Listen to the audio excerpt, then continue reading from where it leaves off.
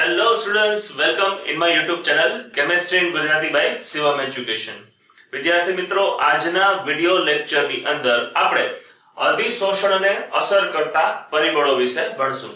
એકવાર બોર્ડની એક્ઝામમાં પ્રશ્ન પૂછાયેલો કે ભાઈ, અધિશોષણને અસર કરતા કયા કયા પરિબળો છે? તો પરિબળોના કુલ 6 નામ છે. એ પહેલા આપણે જોઈ જઈએ કે ભાઈ, અધિશોષણની પ્રક્રમને અસર કરતા છ પરિબળોમાં પહેલું અધિશોષિત નો સ્વભાવ. વિદ્યાર્થી મિત્રો, તમને ખબર હોવી જોઈએ કે અધિશોષક એટલે શું, અધિશોષિત એટલે શું? જો તમને ખબર ના હોય, તો આપણા શરૂઆતના ચાર વિડિયો લેક્ચર જોઈ લેવા, જેમાં તમને પહેલા અને બીજા લેક્ચરમાંથી આ બધા જ શબ્દોના અર્થ અને સમજૂતી પ્રાપ્ત થશે. તો અધિશોષિત નો સ્વભાવ. તે જ રીતે અધિશોષક નો સ્વભાવ. અધિશોષિતની જેમ અધિશોષક નો સ્વભાવ. ત્યારબાદ અધિશોષકનું વિશિષ્ટ ક્ષેત્રફળ. અધિશોષકનું, અથવા તો અધિશોષણ માટે પ્રાપ્ય વિશિષ્ટ ક્ષેત્રફળ. તાસ થયા પહેલા ત્રણ પરિબળો. ત્યાર પછી છે અધિશોષણ દરમિયાન વાયુનું દબાણ, અથવા અધિશોષિત વાયુનું દબાણ. જે કાંઈ વાયુ છે એ અધિશોષિત પામે, તો એનું ચોક્કસ દબાણ હોય છે. ત્યારબાદ અસર કરતું પરિબળ છે તાપમાન. ચોક્કસ તાપમાને અથવા તાપમાનની અધિશોષણ પર ચોક્કસ અસર હોય છે. આ દરેક પરિબળ વિશે આપણે વિસ્તારથી આજના લેક્ચરમાં ભણવાનું છે અને અધિશોષકનું સક્રિયકરણ. તો આ બધા જ પરિબળો છે. એ તમને બે માર્કના પ્રશ્નની અંદર પૂછાઈ શકે અથવા પૂછાયેલ પણ છે કે ભાઈ અધિશોષણને અસર કરતા પરિબળો જણાવો. તો બરાબર યાદ રાખી લેવાનું કે અધિશોષણને અસર કરતા કુલ છ પરિબળો છે. અધિશોષિત નો સ્વભાવ, અધિશોષક નો સ્વભાવ. અધિશોષકનું વિશિષ્ટ ક્ષેત્રફળ, ત્યારબાદ વાયુનું દબાણ, તાપમાન અને અધિશોષકનું સક્રિયકરણ. તો ચાલો એક પછી એક દરેક વિશે વિસ્તારથી ભણીએ. હવે અધિશોષણના પ્રક્રમ દરમિયાન જે કાંઈ આપણે અધિશોષિત ઉપયોગમાં લઈએ છીએ, તો દરેક અધિશોષિતને પોતાની એક લાક્ષણિકતા હોય છે અને તે લાક્ષણિકતા અથવા એના સ્વભાવને આધારે એ અધિશોષણ પામે છે. માની લો કે આપણે કેટલાક વાયુઓ લઈએ છીએ. એમોનિયા છે, કાર્બન ડાયોક્સાઇડ વાયુ છે. ત્યાર પછી આપણે પાણીની બાષ્પને લઈએ. તો આ બધા જ વાયુઓને માનો પાણીની બાષ્પ લીધી, તો બાષ્પ છે એ પ્રવાહી અવસ્થા, વાયુ અવસ્થામાં હશે. તો આ દરેકને પોતાનો ચોક્કસ સ્વભાવ છે, આ બધા જ છે એ ઊંચા ઉત્કલન બિંદુ ધરાવે છે. અચ્છા, આ બધાના ગલન ઉત્કલન બિંદુ છે, ઊંચા છે. માટે એ, એના ક્રાંતિક તાપમાન આપણે કહી શકીએ કે ક્રાંતિક તાપમાન છે ને આપણે સંજ્ઞા આપીએ છીએ ટીસી. અચ્છા, ક્રાંતિક તાપમાન છે એના પ્રમાણમાં વધુ. તો ક્રાંતિક તાપમાન વધુ હોય. તો આ બધા જ વાયુઓ છે એના ક્રાંતિક તાપમાન વધુ હોય માટે. આ બધા પ્રકારના વાયુઓ સહેલાઈથી પ્રવાહીકરણ પામે. હવે જે સહેલાઈથી પ્રવાહીકરણ પામે તેવા વાયુઓનું અધિશોષણ છે એ વધુ પ્રમાણમાં થાય છે. તો વિદ્યાર્થી મિત્રો, ખૂબ ખૂબ અગત્યની વાત કે જે વાયુનું ઉત્કલન બિંદુ ઊંચું હોય એટલે કે તેનું પ્રવાહીકરણ ખૂબ સહેલું હોય, તેવા વાયુઓ છે એ વધુ અધિશોષણ પામે. હવે તેનાથી ઉલટું, માની લો કે આપણે આ પ્રકારના વાયુઓ લીધા છે. હાઇડ્રોજન વાયુ છે, ઓક્સિજન વાયુ છે, નાઇટ્રોજન વાયુ છે. તો આ બધા જ વાયુઓ છે એના ઉપર લખી શકીએ કે એના ઉત્કલન બિંદુ નીચા છે. ઉત્કલન બિંદુ નીચા હોય છે. હવે આ બધા જ વાયુઓના ઉત્કલન બિંદુ નીચા હોય. એટલે આપણે લખી શકીએ કે એનું ક્રાંતિક તાપમાન છે એ નીચું હોય. ક્રાંતિક તાપમાન નીચું હોય માટે આ બધા જ પ્રકારના વાયુઓ છે એ સહેલાઈથી પ્રવાહીકરણ ન પામે. તો આપણે લખશું કે સહેલાઈથી પ્રવાહીકરણ ન થાય. એમના પ્રવાહીકરણ માટે આપણે ખૂબ જ નીચું તાપમાન આપવું પડે. હવે આ સહેલાઈથી પ્રવાહીકરણ પામતા નથી.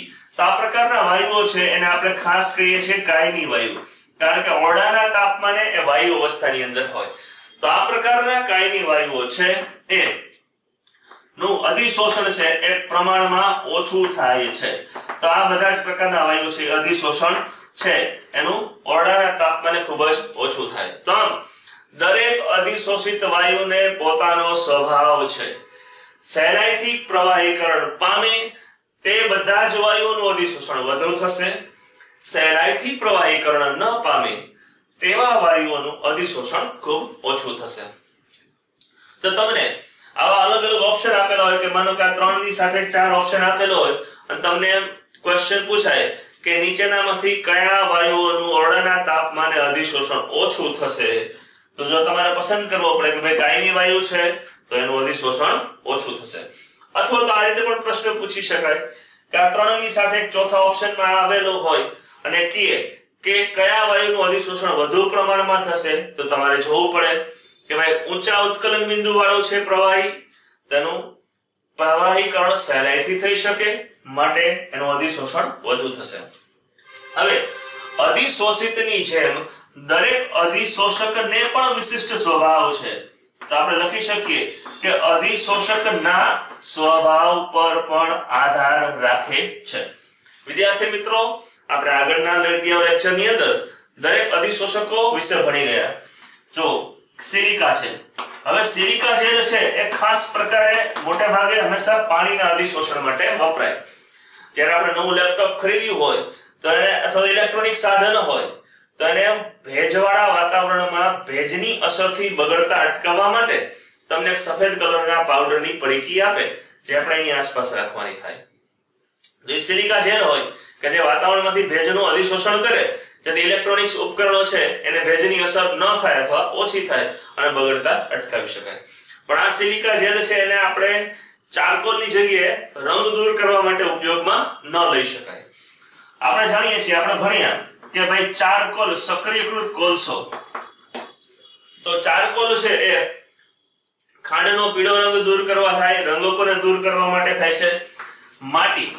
તો માટી છે, સ્કિન પરથી દાખલા તરીકે આપણે ભણીએ ગયા કે મુલતાનની માટી હોય તો સ્કિન પરથી તેલી બિંદુઓને દૂર કરે છે અને વધુમાં નાના નાના જીવજંતુનું પણ અધિશોષણ કરી શકે.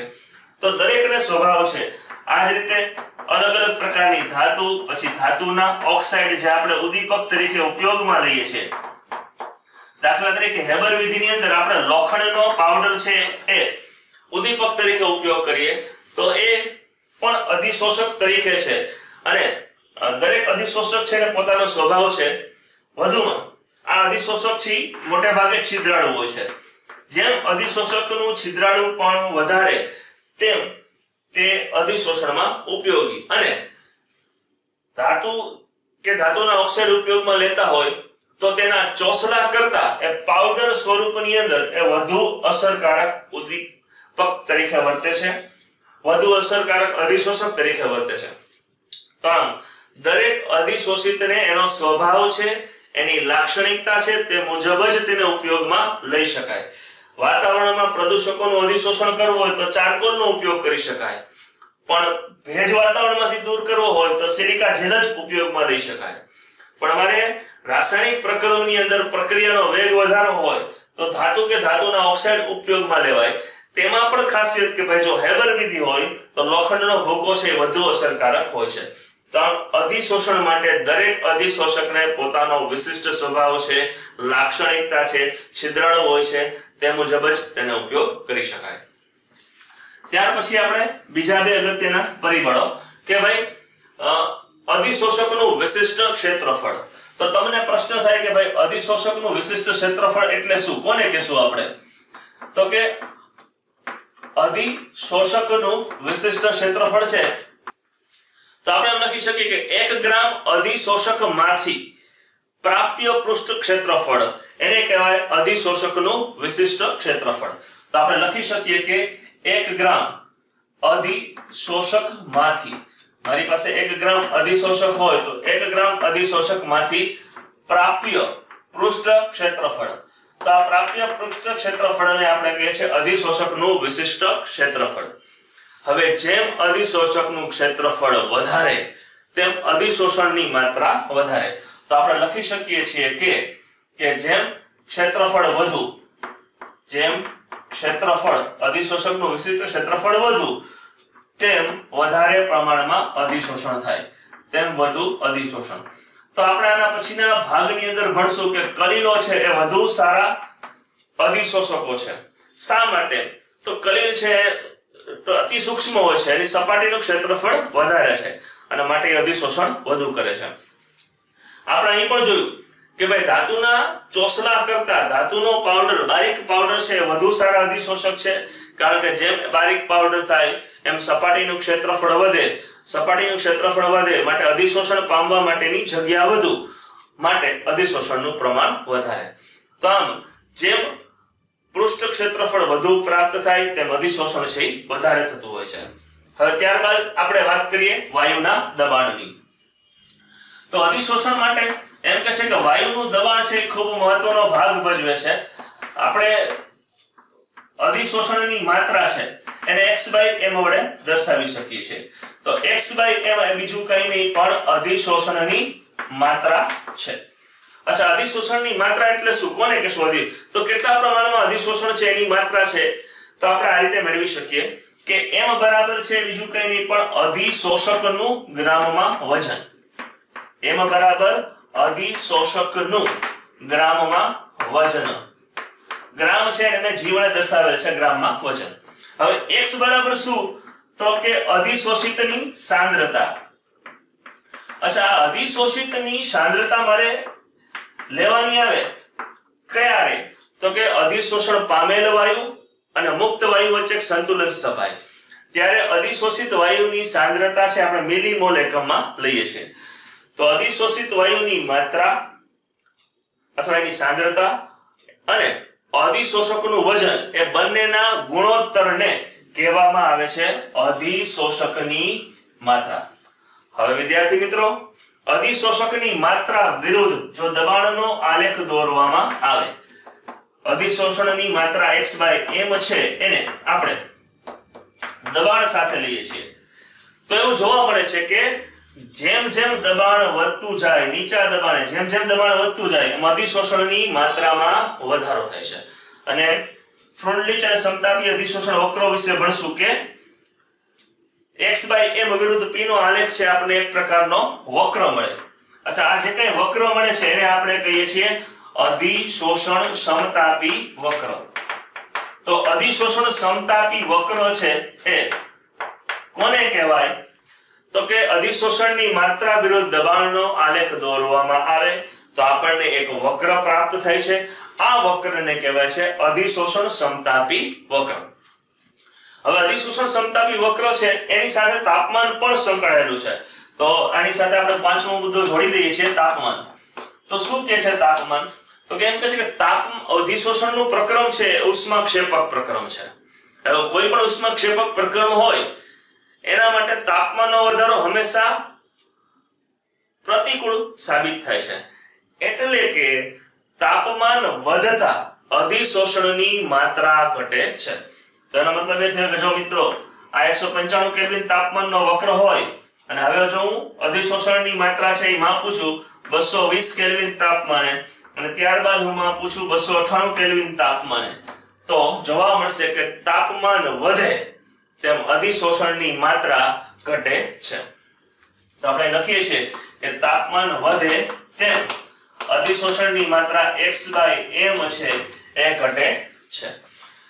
હવે x m વિરુદ્ધ p નો આલેખ દોરો, જેને આપણે અધિશોષણ સમતાપી વક્રો કહીએ છીએ. એના અલગ અલગ પ્રકારના કુલ પાંચ પ્રકાર છે. આ પાંચ પ્રકાર પૈકી, વિદ્યાર્થી મિત્રો, તમારે બે પ્રકાર ભણવાના છે. એક છે ફ્રુન્ડલીચ સમતાપી અધિશોષણ વક્ર અને બીજું છે લેંગમ્યુર સમતાપી અધિશોષણ વક્ર. જી નીટ માટે ખૂબ ખૂબ અગત્યનો કોન્સેપ્ટ છે. તો આપણે આ ભાગમાં જોયું કે ભાઈ વાયુનું દબાણ અને તાપમાનની શું અસર થાય છે. હવે ત્યારબાદ છેલ્લો મુદ્દો છે અધિશોષકનું સક્રિયકરણ. હવે અધિશોષકને જ્યારે માની લો કે ચારકોલ છે, માટી છે, એને આપણે ઉપયોગમાં લઈએ છીએ, તો તેનું સક્રિયકરણ કરવામાં આવે. તો સક્રિયકરણ એટલે શું? તો કે જે કઈ અધિશોષક હોય, એને હવાની ગેરહાજરીની અંદર તપાવવામાં આવે છે. તપાવવામાં આવે એટલે એની સપાટી પર જો કોઈ અધિશોષિત વાયુ હોય, તો એ દૂર થાય. ભેજનું પ્રમાણ હોય, એ દૂર થાય. એના છિદ્રો છે એ ખાલી થાય અધિશોષકની સપાટી પરના.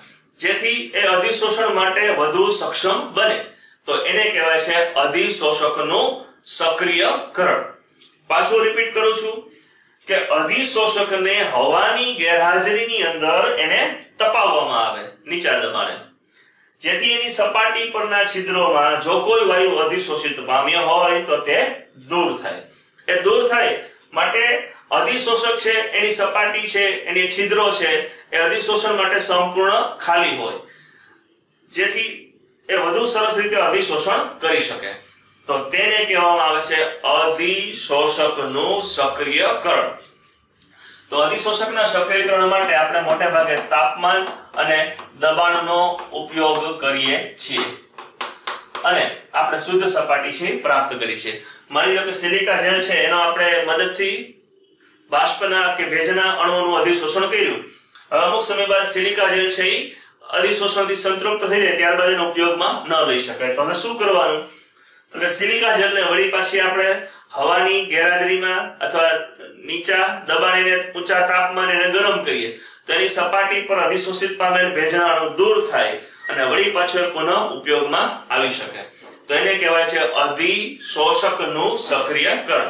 તો અધિશોષણ છે એને અસર કરતા કુલ પાંચ પરિબળો છે. અધિશોષિતનો સ્વભાવ, અધિશોષકનો સ્વભાવ, અધિશોષકનું વિશિષ્ટ ક્ષેત્રફળ વાયુનું દબાણ, વાયુનું તાપમાન અને અધિશોષકનું સક્રિયકરણ. જેના વિશે આજના વિડિયો લેક્ચરમાં આપણે વિસ્તારથી ભણ્યા. વિદ્યાર્થી મિત્રો, લેક્ચર ગમ્યો ને, તો લાઈક કરવાનું, શેર કરવાનું ચૂકશો નહીં. સબસ્ક્રાઇબ કર્યું હોય, તો તમારા વિદ્યાર્થી મિત્રો, બીજા મિત્રોને પણ જાણ કરો, જેથી એ પણ ઘેર બેઠા વિડિયો લેક્ચરના માધ્યમથી જીનીટના કોન્સેપ્ટને ક્લિયર કરી શકે. આપને કોઈ ક્વેશ્ચન કરી હોય, તો જણાવવાનું કોમેન્ટ બોક્સમાં ચૂકશો નહીં. મળીએ નેક્સ્ટ લેક્ચરમાં ઓલ ધ બેસ્ટ